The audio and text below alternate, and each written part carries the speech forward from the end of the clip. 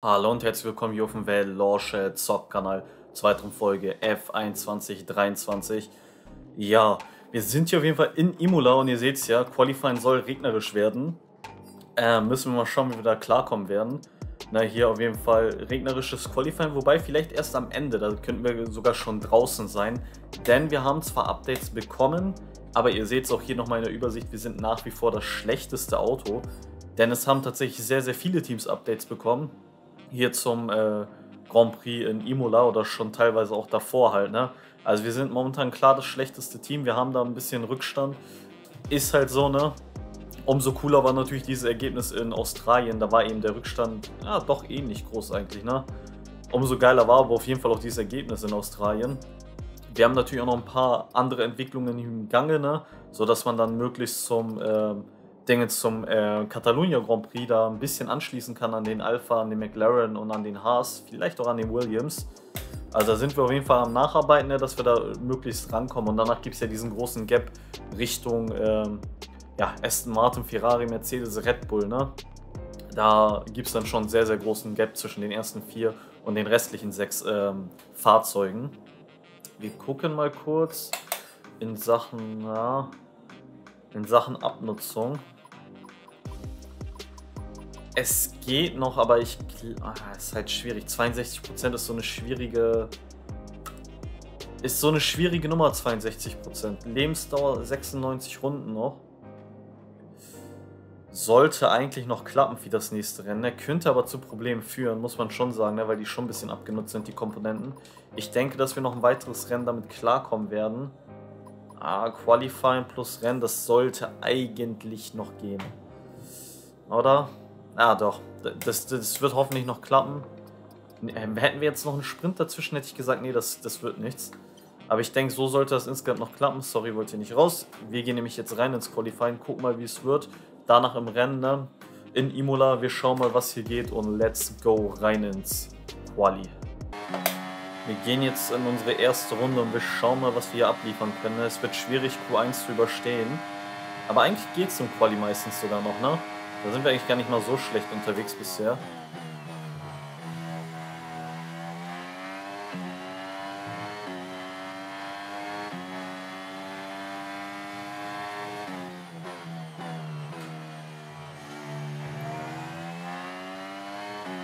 Boah, halbe Sekunde auf Hülkenberg, äh, auf Magnussen ist es, sorry. Das ist schon ordentlich. Und das im ersten Sektor.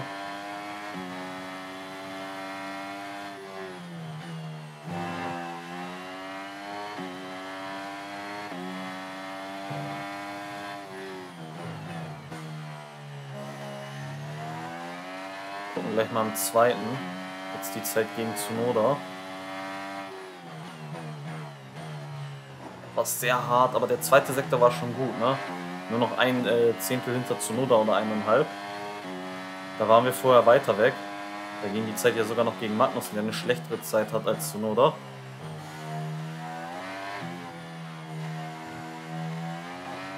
So, wir gucken mal. Am Ende ist es eine 1. 19,2 gewesen und damit sind wir sogar auf P14 fürs erste. Okay.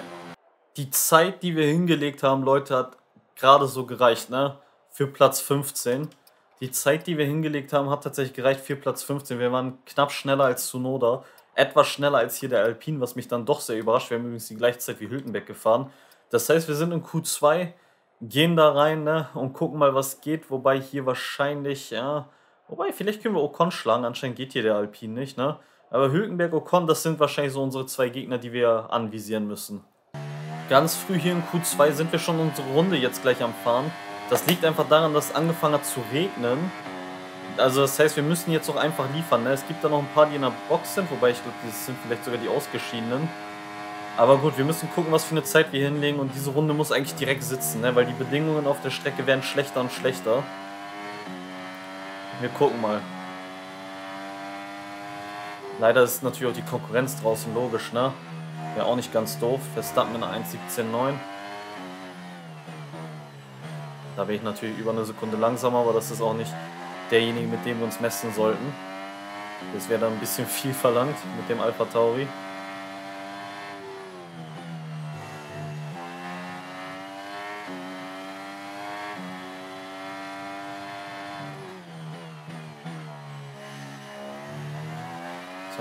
Mal zweiter Sektor gegenüber so. Ah, die Schikane hier gerade so noch bekommen. Schön. Das ging dann doch ganz gut. Ne? Ich dachte erst, ich bin zu spät auf der Bremse.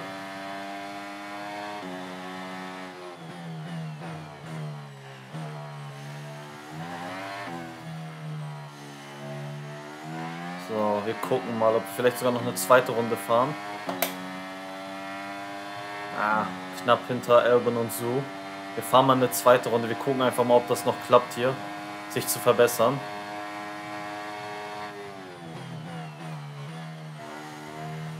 Boah, die Bedingungen auch immer schlechter und schlechter werden. Bin jetzt zwei Zehntel langsamer als eben, na, nicht optimal. Boah, hier gewinne ich gerade ein bisschen Zeit.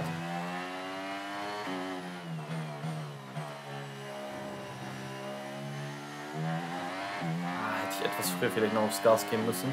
Etwas mehr Risiko, um da Zeit zu gewinnen.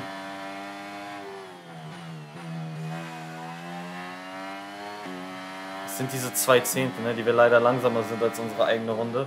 Irgendwo muss ich dann gleich mehr Risiko gehen und versuchen da was rauszuholen. Na, jetzt sind wir deutlich langsamer, okay. Das wird dann wohl doch nichts mehr.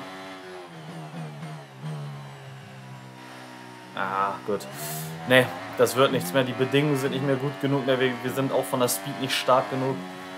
Da werden wir die vor uns nicht mehr schlagen. Und dann werden wir mal gucken, vielleicht vom P12 aus starten, je nachdem wer jetzt noch eine Runde fährt, ob die sich echt noch verbessern können oder nicht. Wir hoffen mal nicht und gucken dann mal in der Startaufstellung gleich, wo wir dann starten.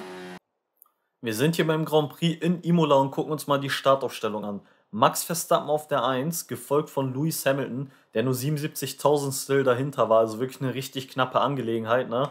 Ein bisschen umgedrehte Startaufstellung hier vom Ungarn Grand Prix. Dann Perez und Russell, gefolgt von Sainz und Norris. Das ist unglaublich, was Norris macht mit dem McLaren. Ne? Alonso Ocon, Piastri auf 9, also der McLaren geht hier anscheinend gut. Dann Hülkenberg, Albon, Su. Auf 13 wir vor Leclerc als auch vor Bottas. Ne? Gefolgt dann von Gasly, Tsunoda, Magnussen, Stroll und Sargent. Wir sind natürlich vor unter Leclerc gelandet aufgrund der Wetterbedingungen. Ne? Da hatten wir einfach ein bisschen ja, das Glück, dass er zu spät rausgefahren war. Wir werden auf jeden Fall Soft Medium fahren. Äh, vielleicht nehmen wir sogar. Äh, wir nehmen mal echt sogar früheren Stop noch, weil wir, denke ich, dadurch einen guten Vorteil haben sollten mit den Mediums, wenn wir wirklich nochmal ein, zwei Runden als die anderen reinkommen. Wir schauen mal, wie das Rennen wird. Ne? Wird vielleicht wieder vom Start ein bisschen abhängen, aber man darf jetzt nicht erwarten, irgendwie regelmäßig Punkte zu holen. Das wäre ein bisschen too much mit dem Alpha Tauri hier. Einfach weitere vernünftig fahren ne? und möglichst gute Ergebnisse einfahren. Und gut würde ich sagen, ist mit dem Alpha Tauri nach wie vor irgendwo, wo ich jetzt aktuell bin. So Platz 13, 14, 15, das ist komplett okay. Ne? Die Startphase beginnt jetzt. Wir gucken mal, wie wir starten können. Wir sollten auf jeden Fall versuchen, an Su vorbeizukommen. Weil er startet mit den Mediums. So, wir versuchen auch gleich rüber zu ziehen. Ja, das sollte klappen gegen Su. Nein, nein, nein, nein, nein, nein, nein, nein, nein, nein, nein, nein, nein, nein, nein. Sei dir bewusst, dass wir ab sofort einen Leistungsverlust bemerken werden. Okay. Da gab es eine Berührung und für uns ist das Rennen mehr oder weniger schon fast vorbei. Oh, bitter.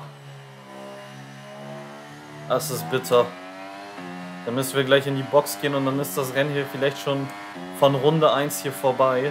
Das werden wir uns nachher mal nach dem Rennen nochmal angucken, wie das genau zustande gekommen ist. So, vor uns musste leider keiner in die Box. Das heißt, also wir sind auch noch die Einzigen, die da rein mussten. Nicht verarschen? Ja, alles gut. Ich dachte gerade, wir waren noch zu schnell. Puh. Ja, auf jeden Fall müssen wir dann als Einziger da in die Box, ne? Flügelscharen Auto repariert, aber das sollte jetzt schon klappen, ne? Sehr gut. Wir nehmen die harten Reifen, werden dann einfach gucken, wie lange wir fahren können, aber ich weiß gar nicht, ob ich euch so viele Highlights dann noch zeigen kann, weil es natürlich ärgerlich ist, wenn sowas ganz am Anfang passiert. Gucken wir einfach mal, ne? Fahren wir einfach mal ein paar Runden und schauen dann mal, ob es irgendwann vielleicht sogar Sinn macht zu sagen, jo, wir sparen lieber Komponenten, ne? Aber wir fahren erstmal ein bisschen. Ja, Leute, inzwischen war auch jeder schon in der Box, muss man sagen, ne? Und trotz allem haben wir so einen riesen Abstand ne, von über 20 Sekunden. Also an den Rand ist überhaupt nicht mehr dran zu denken. Und ich glaube auch, dass der Motor vielleicht bald mal irgendwann schlapp macht. Denn, ah, okay, ist wieder auf Standard. Interessant. Auf jeden Fall war unsere Motoreinstellung teilweise mal kurz auf mager.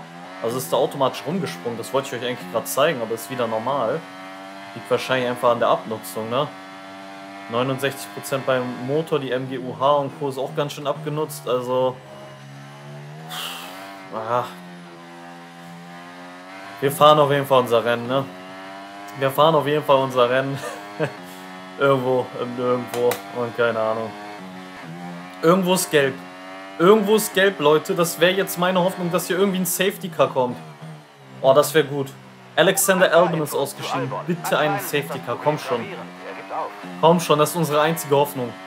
Das ist die einzige Hoffnung, dass er einen Safety Car verursacht. Sieht aber momentan eher nicht danach aus, ne? Sieht momentan leider nicht danach aus. Na. Das wäre unsere einzige Hoffnung gewesen, Leute. Ich ziehe das Ding hier jetzt durch. Ich fahre noch die restlichen Runden mit meinem langsamen okay, Alpha Tauri hier. 36,3 Sekunden. Der auch schon ziemlich abgenutzte Komponenten hat und noch die Reifen natürlich nicht allzu gut. Aber was willst du machen, ne? Ich ziehe es durch, auch wenn jetzt selbst der Albon-Ausfall leider kein Safety Car nach sich zieht. Schade.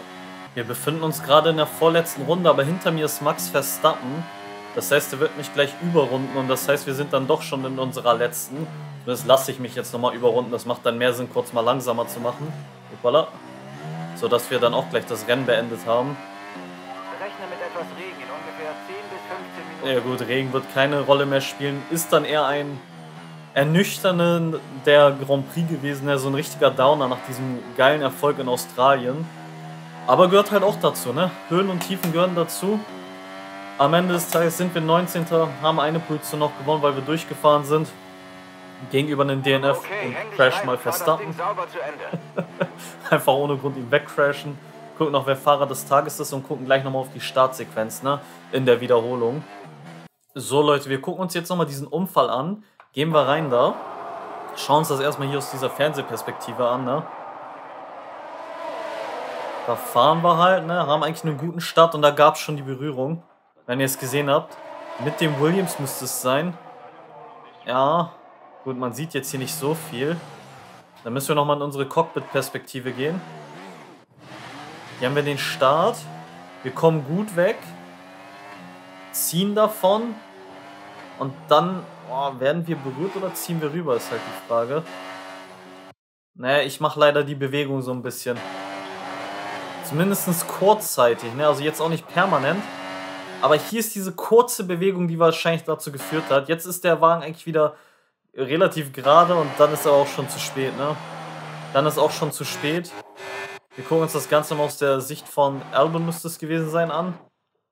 Genau, Albon war dann nämlich auch so im Sandwich. Wir gucken sich mal das Ganze mal aus seiner Sicht an. Also hier war der Start, ne? Komm, wir gehen mal bis zum Startpunkt zurück. Gucken uns das jetzt mal aus Albons Sicht an. Er hat einen Start. Der Start ist gar nicht mal schlecht, kommt sogar besser weg als der McLaren.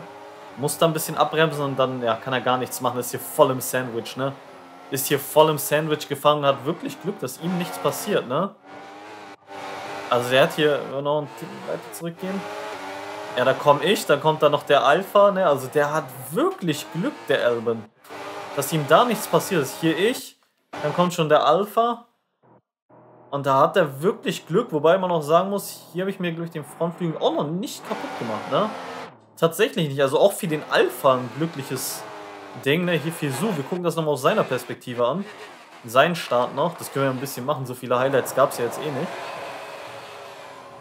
Und gehen wir rein da. Gucken wir nochmal aus Sus Perspektive das Ganze an. Su fährt hier. Hat dann neben sich Albin, der da ein bisschen die Tür zumacht, schlüpft dann aber durch. Und dann gibt es hier schon fast den Kontakt, hat da ja auch Probleme gehabt, aber kriegt den Wagen abgefangen. Das, was ich eben nicht geschafft hatte. Und so endete dann mehr oder weniger unser Rennen. Ne? Ein bisschen Eigenverschulden muss man ganz klar sagen, weil man diesen Moment nach rechts gezogen war. Dadurch war einfach, äh, ja, dadurch war es einfach dann vorherbestimmt, dass wir mit Albin da kollidieren müssen. Der, der hat da überhaupt gar keine Schuld. Ne? Ähm, wir gucken auf jeden Fall auch hier das Ergebnis an. Ne? Verstappen vor Russell, also Red Bull Doppelsieg. Äh, stimmt gar nicht, sorry. Red Bull vor Mercedes, dann Perez Sainz, Hamilton von 2 auf 5. Alonso und Leclerc ist bis auf 7 vorgefahren, stark, von 14. Norris auf 8 äh, runtergefallen, Ocon 9. Gasly äh, von 16 auf 10. Das finde ich fast noch beeindruckender als der Ferrari, weil der Ferrari ja wirklich einen Monsterwagen hat. Ne? Piastri ist rausgefallen aus den Punkten, Bottas, dann Hülkenberg, Tsunoda auf 14. Solides Ergebnis, ne? Dann Magnussen, Su, Stroll, Sargent, wir am Ende dann eben 19. geworden. In der Rangliste bedeutet das nach wie vor, dass wir auf Platz 11 sind. Das ist eine super Platzierung für uns, ne? Diese sechs Punkte in Australien können uns eventuell über die ganze Saison tragen, ne? Also ich denke, ich gehe stark davon aus, dass ein Gasly irgendwann mehr Punkte holt, muss ich ganz ehrlich sagen. Der wird uns noch überholen. Aber am Ende irgendwie so Zwölfter werden, wäre schon sehr, sehr nice. In der Konstrukteurswertung wäre es auch nice, wenn wir Siebter am Ende werden. Ne? Das wäre schon, wär schon ein großer Erfolg. Ne? Ich glaube, die McLaren, die werden nicht zu schlagen sein, weil Norris einfach maximal overpowered ist. Ne?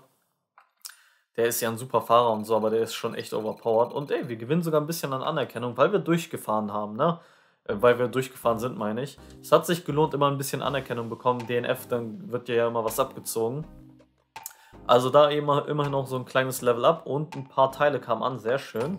Äh, wir hatten hey, Nachrichten. Die neuen Teile sind aus der Fabrik gekommen. Wir bauen sie vor dem nächsten Grand Achso, bleib mal ruhig. Ähm, auf jeden Fall haben wir da auch ähm, Motorprobleme gehabt. Wir hatten zeitweise nämlich kurz mal so, dass der Motor auf Mager gesprungen war. Ähm, wegen der Abnutzung natürlich auch. Wir gucken mal, wie es mit den anderen Updates angeht. Zündanlage kommt auch rein. Und Marketingabteilung. Die Regenjacke hat sich besser verkauft als erwartet. Wir haben gut Profit gemacht und die Fans mögen sie. Sehr nice. Sehr, sehr schön. Da war das doch eine richtige Entscheidung. Und die Strapazierfähigkeit äh, äh, Neuerung, die sind leider nicht durchgegangen. Äh, muss man dann halt nochmal neu machen. Was kostet es? 300 Punkte, das geht ja. Hier sind es auch 325, ne, das ging ja auch nochmal. Dadurch haben wir jetzt natürlich ein bisschen was an Ressourcenpunkten verloren, aber das ist okay. Ja, und auch hier hat man einige Sachen freigeschaltet. Aber gut, wie stark wir dann sind, das sehen wir dann ja eh erst beim nächsten Rennen. Wo wir uns dann auch zur nächsten Folge sehen, in Catalunya. Euer Velotion sich auf jeden Fall fürs erste ab und bye bye.